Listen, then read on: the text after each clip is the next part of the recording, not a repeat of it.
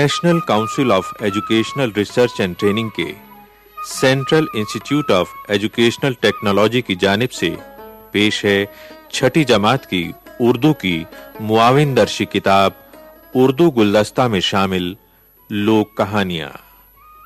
इस प्रोग्राम में पेश खिदमत है लोक कहानी खुशी का राज।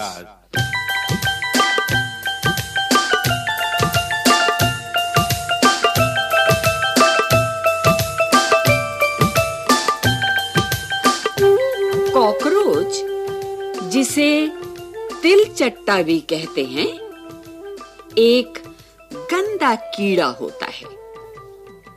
एक मर्तबा तमाम कॉकरोच एक जगह जमा हुए।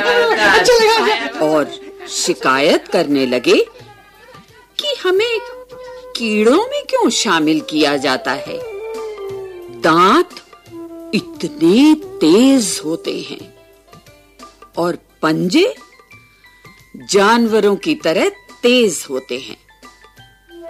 लेकिन जानवर हमें कीड़ा ही समझते हैं और बड़ी हिकारत से देखते हैं। हमारे पर भी होते हैं और हम उड़ भी सकते हैं।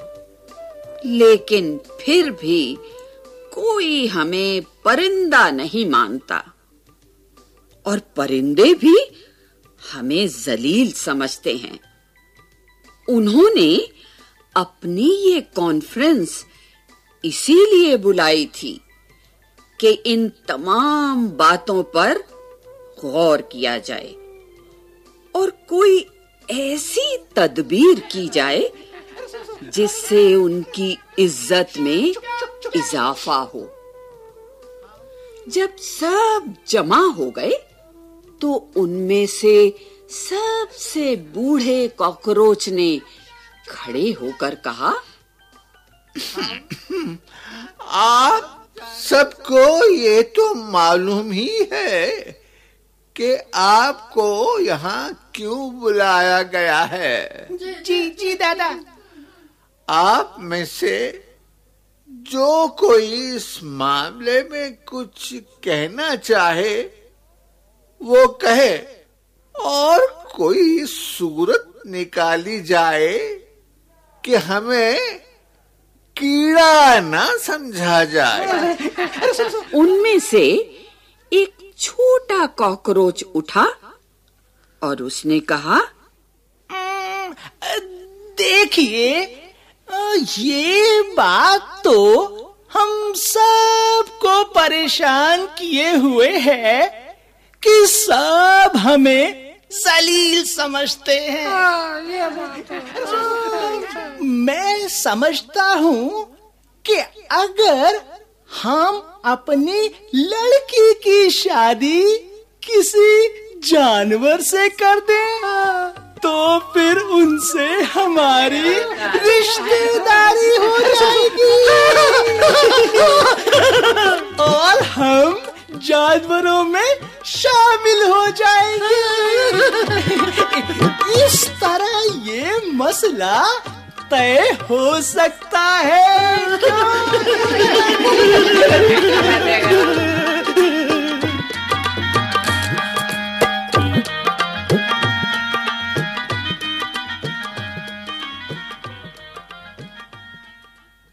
सबने इस बात की बहुत तारीफ़ की।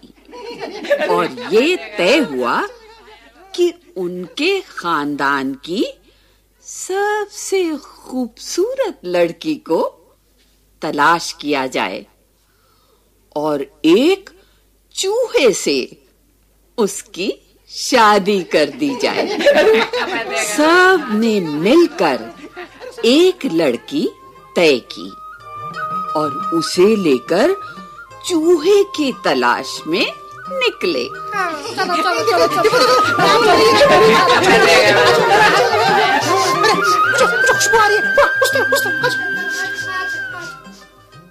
थोड़ी सी कोशिश के बाद एक चूहे को तलाश कर लिया। वो एक पेड़ की जड़ में बिल बनाए हुए आराम कर रहा था। चूहे ने जब कॉकरोच को देखा तो कहा कहिए जनाब, कैसे तकलीफ़ की? मैं आपकी क्या खिदमत कर सकता हूँ? कॉकरोच ने कहा, हुजूर, एक जमाने से हम परेशान हैं। हमारे बाजू भी हैं। हम उड़ भी सकते हैं। हमारे पंजे और दांत भी बहुत तेज हैं।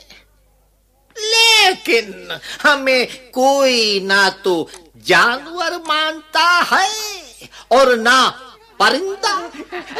इसलिए हम अपनी लड़की को आपके पास लाए हैं। आप इससे शादी कर लीजिए।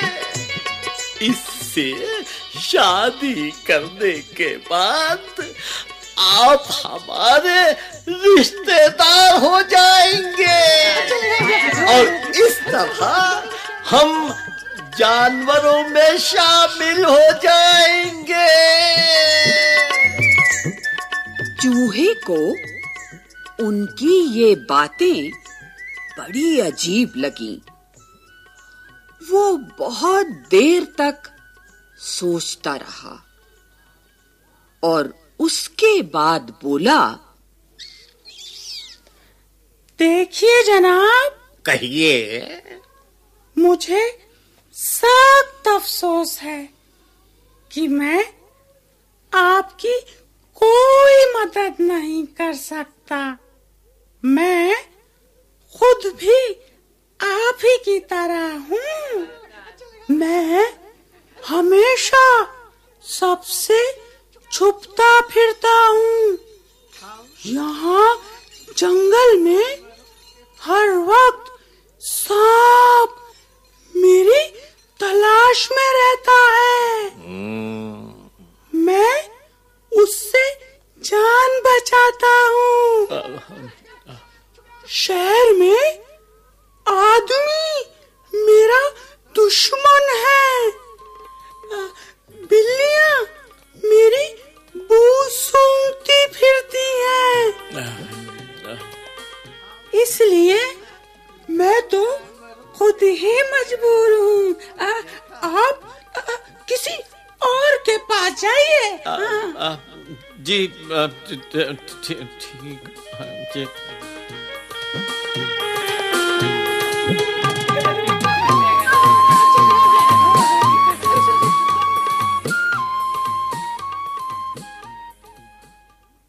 चूहे की बात सुनकर कॉकरोच बड़े हैरान हुए। वो सोचने लगे कि ये भी उन्हीं की तरह हैं, जो अपनी जान बचाए फिरते हैं।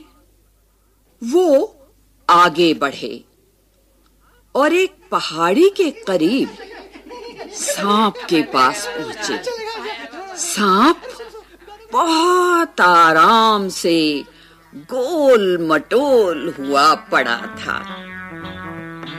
कॉकरोच को आते देखकर सांप उठ बैठा।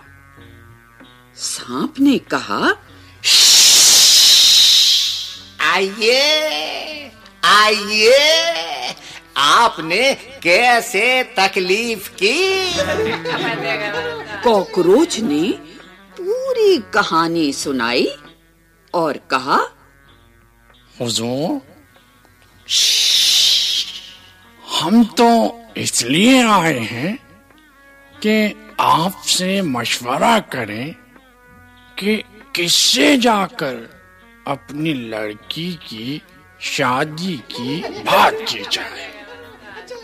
सांप बहुत गौर से सबकी बातें सुनता रहा। और फिर उनसे बोला मैं क्या कह सकता हूँ? मेरी जान तो खुद ही मुसीबत में रहती है। मैं हर वक्त नेवले से डरता हूँ।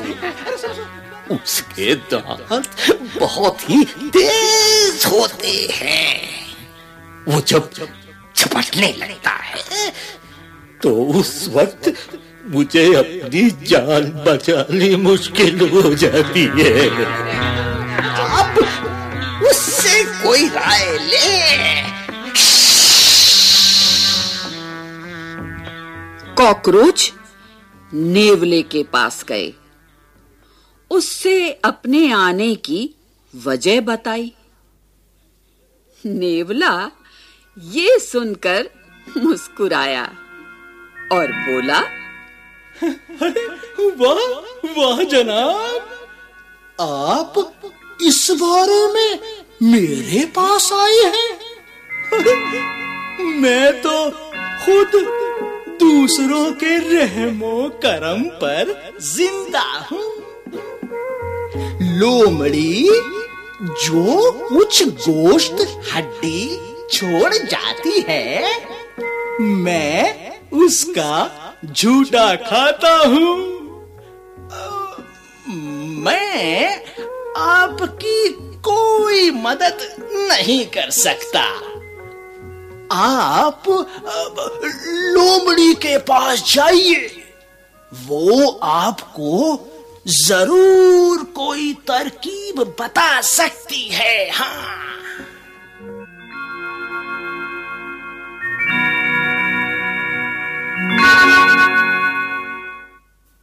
कॉकरोच लोमड़ी के पास गए लोमड़ी बहुत घबराई हुई इधर उधर देख रही थी कॉकरोच ने पूछा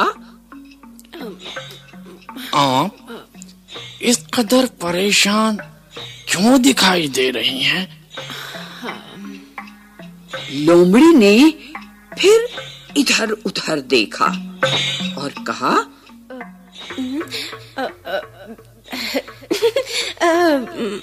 माफ़ करना अ, मैं आपकी कोई खातिर नहीं कर सकती। दरअसल कुछ कुत्ते इस वक्त मेरे पीछे पड़े हुए हैं। अ,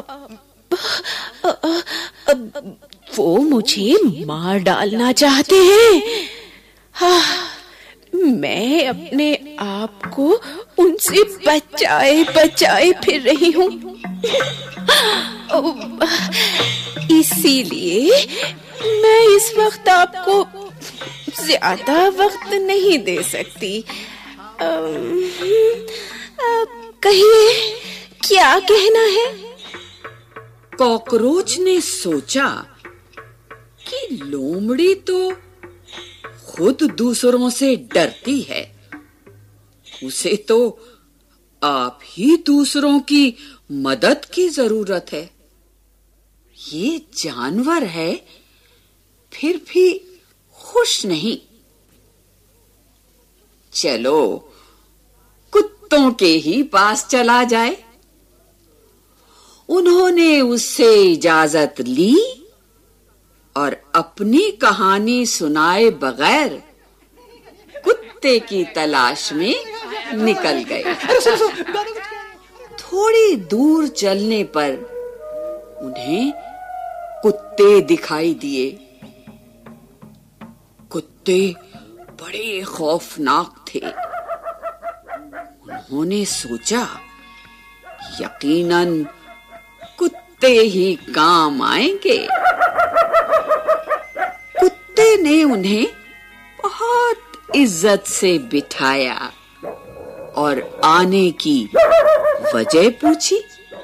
कॉकरोच ने शुरू से लेकर अब तक की कहानी सुनाई और अपनी खूबसूरत लड़की को उन्हें दिखाया। एक कुत्ते ने कहा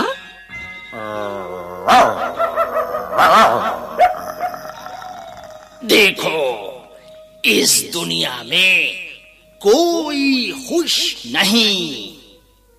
तुम इससे परेशान हो कि तुम्हें कीड़ों में गिना जाता है। तुम्हें जानवर और परिंदा नहीं समझा जाता। कोई चीज़ भी जलील नहीं होती। हम सब किसी ना किसी से डरते हैं।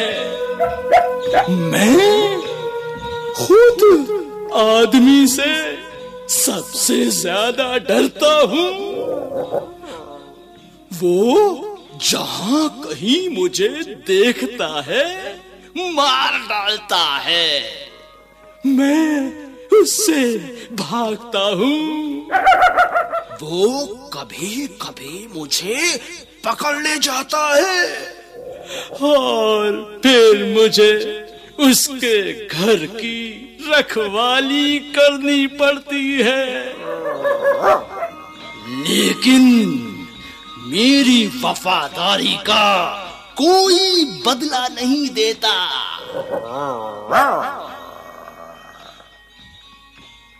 वो मेरा दुश्मन है। मैं तुम्हारी कोई मदद नहीं कर सकता। तुम आदमी के पास जाओ। वो ज़रूर तुम्हारे लिए कुछ करेगा।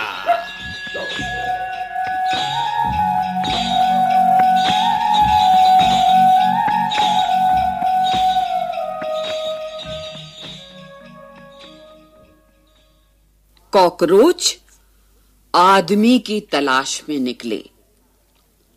आखिरकार उन्हें एक झोपड़े में आदमी मिल गया। वो उस झोपड़े में दाखिल हुए।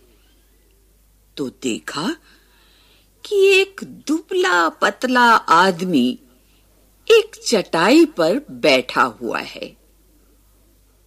कॉकरोच जैसे ही आगे बढ़े वो एकदम से खड़ा हो गया और उन्हें हटाने लगा। कॉकरोच ने कहा डरिए मत। हम आपसे मदद लेने आए हैं। आदमी ने पूछा हाँ कहो क्या कहना है?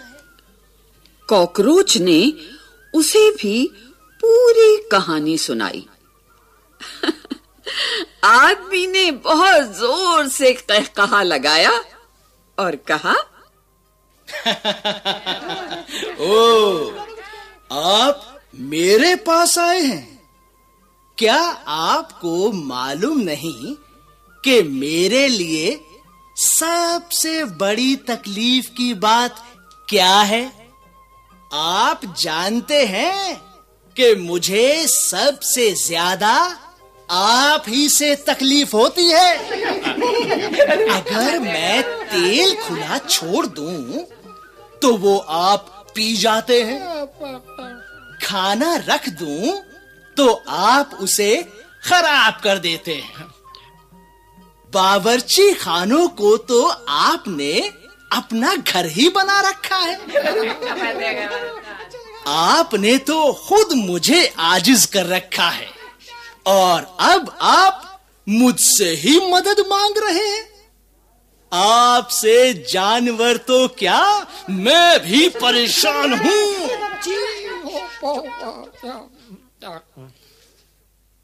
कॉकरोच, ये सुनकर बहुत खुश हुए।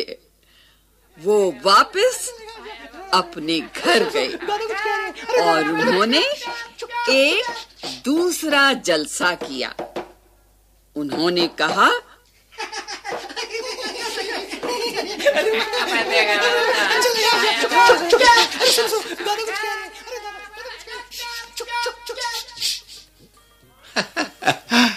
हम सब जानवरों के पास गए और देखा कि जानवर तो क्या? आदमी भी किसी न किसी से डरता है। और आदमी तो सबसे ज़्यादा हमसे ही डरता है। एक छोटा सा कीड़ा होने के बावजूद हमारी बड़ी अहमियत है। इसलिए हमें हरगिज शर्मिंदा ना होना चाहिए। हमें अपने कॉकरोच होने पर फख्र होना चाहिए। इसलिए कि हम देखने में तो छोटे हैं, लेकिन हमारी भी अहमियत है। छोटी से छोटी चीज़ की भी अपनी जगह बहुत अहमियत होती है। इसलिए हमें कीड़े ही बने रहना चाहिए। और इसी हाल में खुश रहना चाहिए।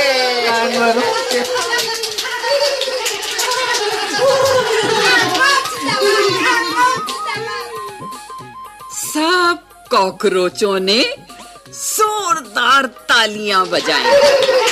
और खुश खुश अपने घर चले गए।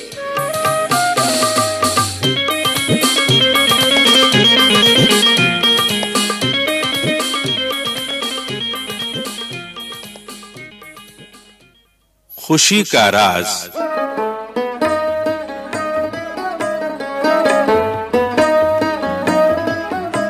अभी आप सुन रहे थे ये लोक कहानी। Academic guidance doctor Mohammad Numan Khan academic coordinator doctor Chaman Ara assistance Abdul Haq Kamal Fankar Manju Maini Ram Maini M Azam Shah Keemti Anand Sadia Rahman Praveen Sharma और Syed Salim Asghar Zaidi production head Prabhudayal Khattar editor Batilang Lyngdoh और Amita Bhatti recordist Deepak Pandey technical control Satish Lade assistance in production Daudayal Chaturvedi और producer Ramesh रानी शर्मा।